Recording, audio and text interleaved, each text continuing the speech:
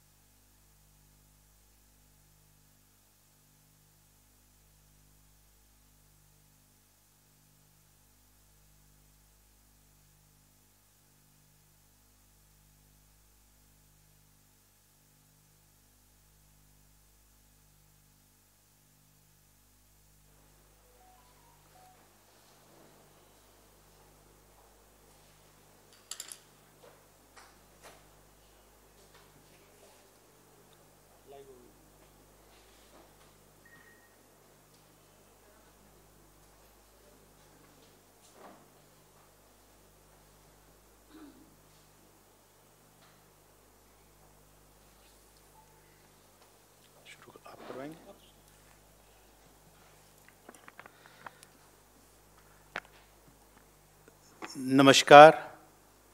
आप सभी को मेरा क्रांतिकारी जय भीम।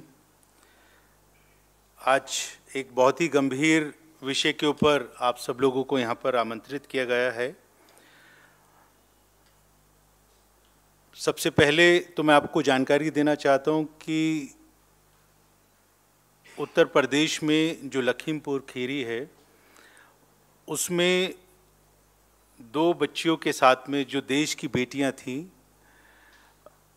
उनके साथ में सामूहिक बलात्कार हुआ, उनकी हत्या की गई।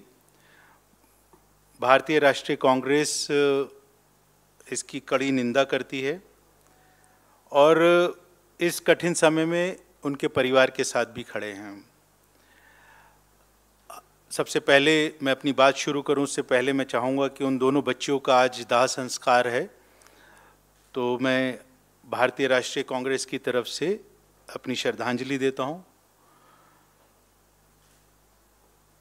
ऐसा किसी और परिवार के साथ ना हो, किसी और बच्ची के साथ में ना हो, इसके लिए भी हम उम्मीद करते हैं कि नरेंद्र मोदी की सरकार और उत्तर प्रदेश के अंदर योगी की सरकार इसके ऊपर विचार करेगी कड़ी कार्रवाई करेगी और सख्ती से उन बलात्कारियों के साथ में पेश आएगी जो जो पूरी तरीके से आ, अपने आप को ऐसा महसूस करते हैं कि योगी की अगर सरकार है तो वहाँ पर हम लड़कियों के साथ में बलात्कार कर सकते हैं अपहरण कर सकते हैं दुराचार कर सकते हैं और उनको मार भी सकते हैं। हाल में ही राष्ट्रीय अपराध रिकॉर्ड ब्यूरो के, की रिपोर्ट के हिसाब से क्राइम इन इंडिया रिपोर्ट से पता चला कि 2021 में दलितों के खिलाफ अत्याचार, अपराध के मामले जो हैं, पचास हज़ार दो सौ इक्यानवे मामले सामने आए, जिसमें पिछले साल की तुलना में ये जो वृद्धि हुई वो काफ़ी ज़्यादा है। अकेले उत्तर प्रदेश में दलितों के खिलाफ हुए अत्याचारों के सबसे अधिक मामले, जिनमें कुल अत्याचारों का पच्चीस दशमलव बयासी प्रतिशत हिस्सा सिर्फ़ उत्तर प्रदेश का है। गंभीर विषय है कि उत्तर प्रदेश में महिलाओं के खिलाफ उत्पीड़न के मामले इतने सारे बढ़ रहे हैं और देखने को ये भी मिलता है कि बहुत सारे मामले जब कंप्लेंट्स की जाती हैं तो उसको दर्ज भी नहीं किया जाता। 2017 के बाद उत्तर प्रदेश में दलितों के खिलाफ कुल इकसठ हज़ार सत्तावन अपराध किए गए। ठीक दो साल पहले हाथरस में जो हुआ, उसके बावजूद उत्तर प्रदेश में S C S T that is P O A अधिनियम को सख्ती से लागू करने की दिशा में कोई कार्रवाई नहीं की गई। हाथरस का सब आप लोगों को मालूम है कि उत्तर प्रदेश में किस तरीके से उस बच्ची के साथ में दुराचार हुआ, बलात्कार हुआ, उसको मार दिया गया और फिर सरकारी एजेंसियों के माध्यम से, उनकी मदद से रात के अंधेरे में पेट्रोल डाल के जला दिया गया। वहाँ पर देखने को ये भी मिला कि उत्तर प्रदेश का जो रवैया है, जो प्रशासन का रवैया है, सरकार का रवैया है, वो ऐसे अपराधियों के साथ में खड़े होते हैं, जहाँ पर मदद करनी चाहिए दलित परिवारों की, जहाँ पे मदद करनी चाहिए उन बच्चियों की। प्रशासन और योगी की सरकार हमेशा अपराधियों के साथ में खड़ी रहती है। वहाँ पर एक जो बहुत ही जिम्मेदार पुलिस के अधिकारी थे सीनियर ऑफिसर थे, उन्होंने यहाँ तक का बयान दिया कि उस बच्ची के साथ में कोई बलात्कार भी नहीं हुआ। जबकि बाद में जब पोस्टमार्टम रिपोर्ट आई तो उससे पता चला कि उसको मारा गया, उसके साथ बलात्कार भी किया गया और उसको पेट्रोल डाल के जलाया भी गया। तो बड़ा गंभीर विषय है, दुख का विषय है। हम ने जो मांग की थी कि फास्ट ट्रैक में केस चलाया जाए और अनुसूचित जाति अनुसूचित जनजाति अधिनियम के द्वारा उनको आ, उसके अंदर उनको जो भी फैस, फैसिलिटीज़ मिलती हैं जो भी उनको आ, किस तरीके से उनको सुनिश्चित किया जाए कि उनको उस परिवार को मदद की जाए। लेकिन देखने में ये मिल रहा है कि जो आ, उत्तर प्रदेश की सरकार है वो इसको सांप्रदायिकता का रंग देना चाहती है। भारतीय जनता पार्टी के जो नेता हैं, उनकी तरफ़ से इस तरीके के बयानबाजी आना, इस तरीके से समर्थन करना और लोगों का और उसको रंग देना सांप्रदायिकता का, ये भी एक बड़ा दुख का विषय है। हमारा ये मानना है कि लखीमपुर खीरी मामले को अलग थलग करके नहीं देखा जाना चाहिए।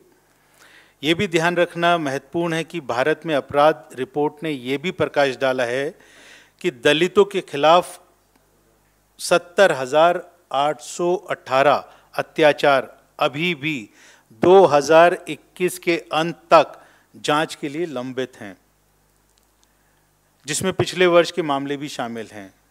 मतलब जहाँ पर आ, सरकार में एक तरफ़ बड़ी बड़ी बातें की जाती हैं कि जो मोदी की सरकार है वो दलितों के उत्थान के लिए, उनके विकास के लिए, उनकी सुरक्षा के लिए कार्यक्रम बना रही है, उसके लिए काम कर रही है।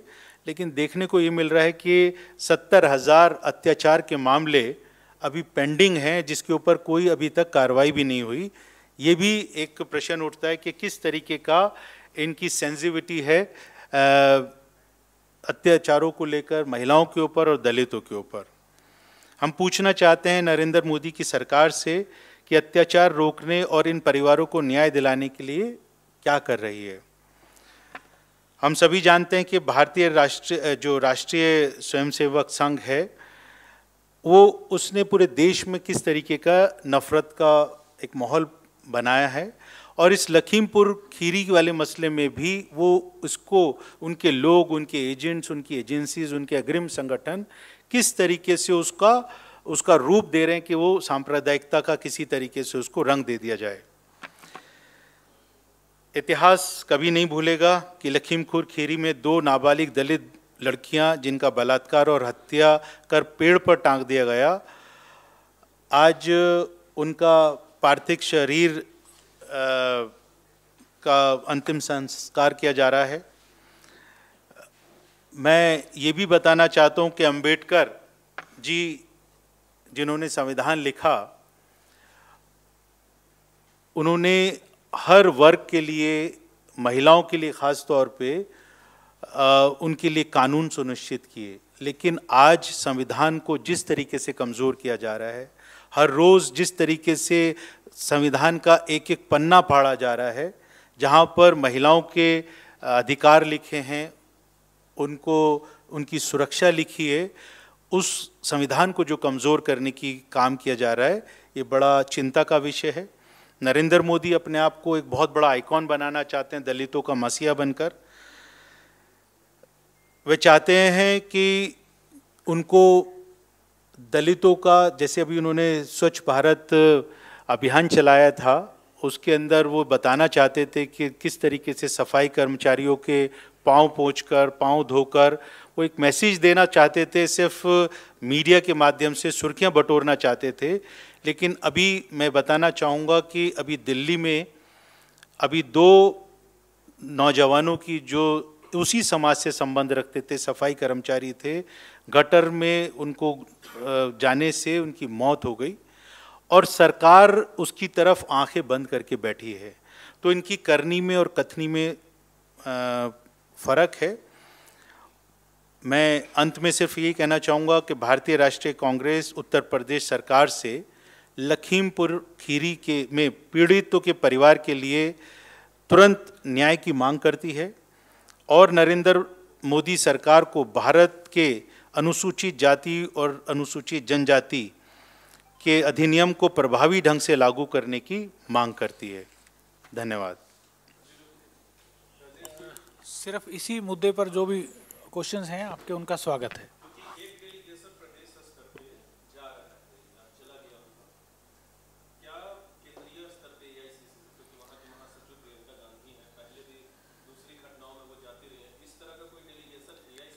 देखिए, वो जो जो एक एक डेलीगेशन बना के भेजा है, वो हमारे संपर्क में है और एआईसीसी के साथ में समन्वय बना के एआईसीसी की तरफ़ से ही डायरेक्शन मिले, जो उत्तर प्रदेश की कांग्रेस कमेटी ने वहाँ पर डेलीगेशन भेजा है। तो हमारी नॉलेज में और हम उसके ऊपर चाहते हैं कि वहाँ से वो पूरी पूरी विस्तृत रिपोर्ट हमारे पास में आए, ताकि उसके ऊपर आगे क्या कार्रवाई करनी है, किस तरीके से उसकी रूपरेखा बनानी है आगे के लिए, उसके ऊपर हम लोग काम कर सकें।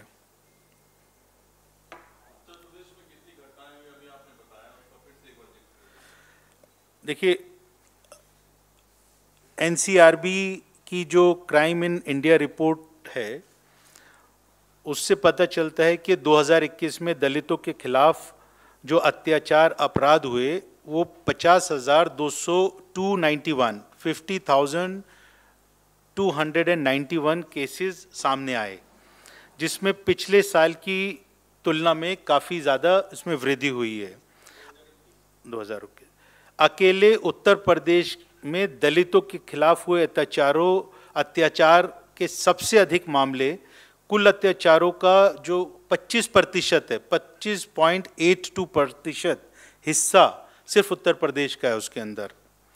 दूसरा 2017 के बाद उत्तर प्रदेश में दलितों के खिलाफ इकसठ हज़ार सत्तावन अपराध किए गए। ये भी एक आंकड़ा है। और दूसरा मैं आपको बताना चाहता हूँ कि भारत में अपराध रिपोर्ट ने यह भी प्रकाश डाला कि दलितों के खिलाफ सत्तर हज़ार आठ सौ अट्ठारह अत्याचार के मामले अभी भी लंबित हैं। उनके पेंडिंग है, उन पर कोई कार्रवाई भी नहीं हुई है।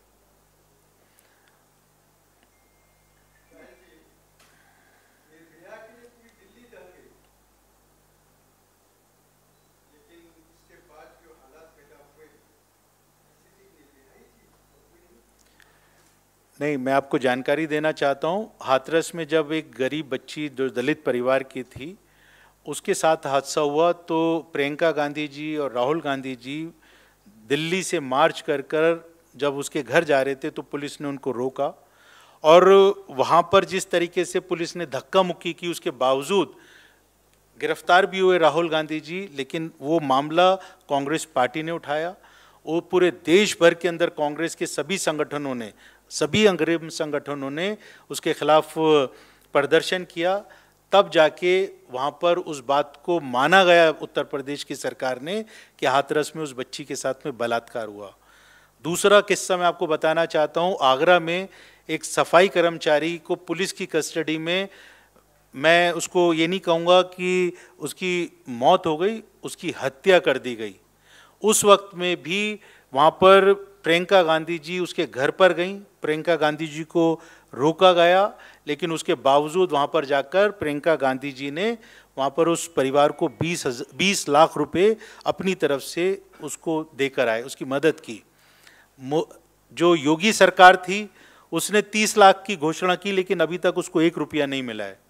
तो ये कहना कि कांग्रेस पार्टी कभी इस, ऐसे मसले के ऊपर आवाज़ नहीं उठाती है शायद ये गलत होगा।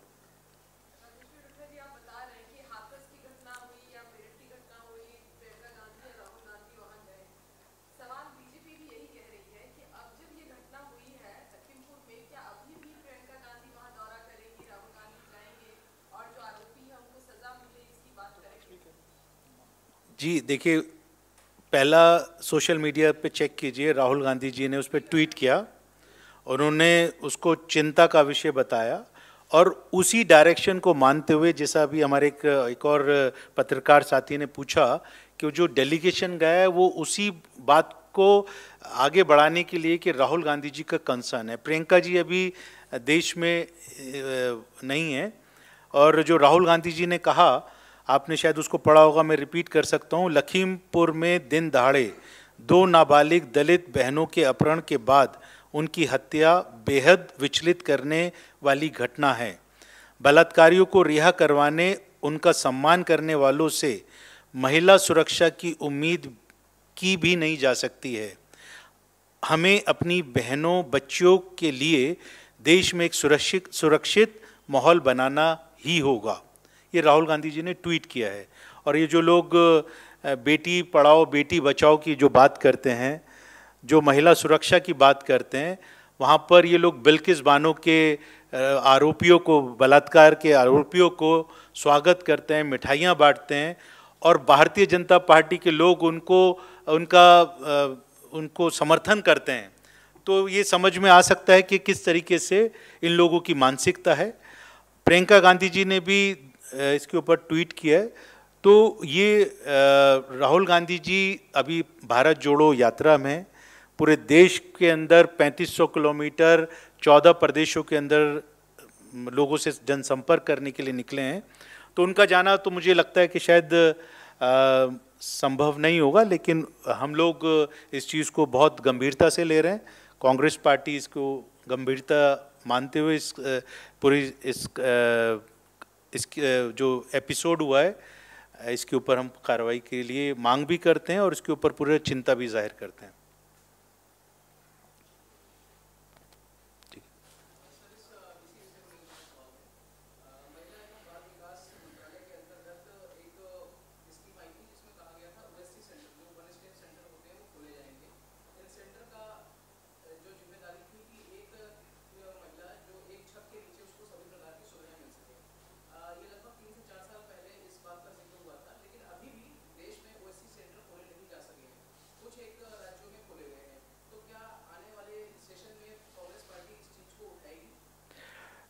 कांग्रेस पार्टी, देखिए, इस तरीके के मसले में फिर बता देता हूँ। ये इन लोगों का, जो भारतीय जनता पार्टी है, लोगों को अपनी तरफ़ आकर्षित करने के लिए, उनको गुमराह करने के लिए, उनके जज्बातों के साथ में खेलने के लिए इस तरीके की घोषणाएँ अक्सर किया करती है। पंद्रह लाख अकाउंट में जाएँगे, ऐसी घोषणा उन्होंने पहले भी की थी। दो करोड़ रोज़गार प्रतिवर्ष नौजवानों को मिलेंगे ऐसी भी घोषणा की थी। तो उसी तरीके से मैं मानता हूँ कि जो अभी जैसे आप बता रहे हैं कि उन्होंने ऐसी घोषणा की और उसके ऊपर कोई कार्रवाई नहीं हुई तो उसके ऊपर हम तो मांग करते ही हैं। हम मांग करेंगे ज़ाहिर सी बात है जहाँ पर गरीबों का हित की बात होगी दलितों के हित की शोषितों के हित की बात होगी उसके लिए कांग्रेस हमेशा आवाज़ उठाती रहेगी। थैंक यू धन्यवाद।